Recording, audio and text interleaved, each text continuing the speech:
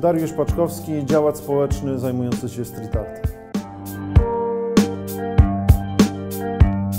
Moja przygoda z graffiti, z szablonami, ze street artem się zaczęła w 1987 roku i to był wtedy dla mnie taki sposób na ominięcie cenzury i wykrzyczenie swojej niezgody na, na rzeczywistość czasu komunistycznego.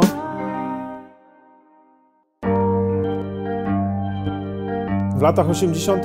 funkcjonowało coś takiego jak międzymiastówka graficiarska, to znaczy odbijało się swoje szablony, wysyłało do 15-20 osób w Polsce i oni y, te najlepsze prace innych odbijali w swoich miastach. Ja też zresztą malowałem w ten sposób y, szablony innych i w ten sposób one docierały do ludzi w całej Polsce.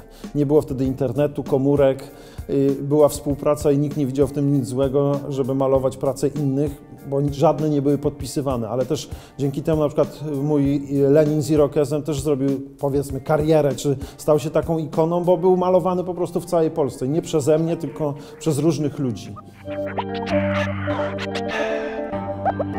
Lenin z Irokezem to był taki pstryczek w nos e, systemowi komunistycznemu.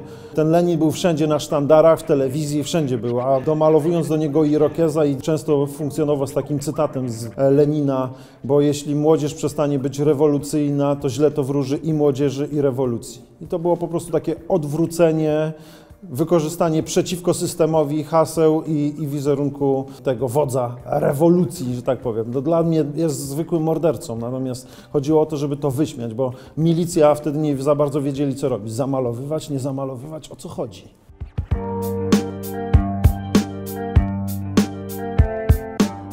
Miałem jakieś tam, byłem na jakimś przesłuchaniu przez SB-ków, Miałem kłopoty w związku z tym trochę w szkole, w rodzinie, bo tata nie za bardzo mój akceptował te kłopoty, które miał z tego powodu, że związane z tą moją działalnością, natomiast no, generalnie upiekło mi się.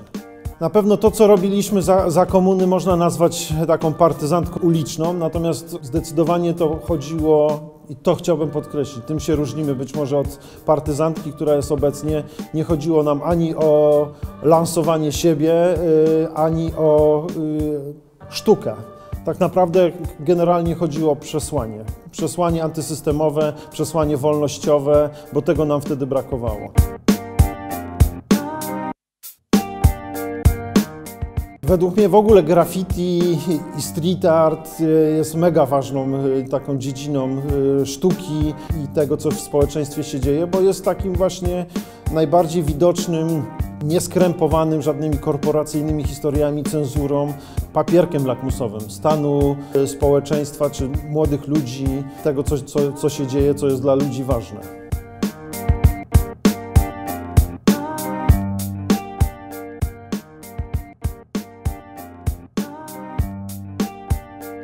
Wydaje mi się, że książka jest o tyle fajna, że dla wielu ludzi dotarcie do ludzi ze środowiska writerów, którzy malują po pociągach, jest w ogóle absolutnie niemożliwe. Myślę, że to, ta książka jest takim możliwością dotknięcia troszkę tej sfery i zbliżenia się nieco do, do idei tych, tej pasji, która nimi kieruje. Ta książka pokazuje pewne mechanizmy, które funkcjonują, e, wartości, które funkcjonują w tym środowisku i na pewno o tyle jest, jest to istotna historia. I opisane w książce sytuacje mogły mieć faktycznie miejsce, bo sam znałem człowieka, który swoje życie stracił malując pociąg. Ciekawe z takiego punktu socjologicznego ta książka, bo pokazuje, że faktycznie są ludzie, którzy dla swojej pasji są w stanie ryzykować swoim życiem. Mało tego, wiedzą, że często ta e, aktywność kończy się śmiercią. Dla ludzi, którzy nie znają w ogóle tego środowiska, chcieliby je poznać, ta książka na pewno niesie taką, taki, taką, taką informację.